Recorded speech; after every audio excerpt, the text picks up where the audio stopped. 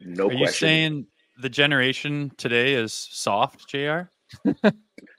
um, can without question. Are you kidding me?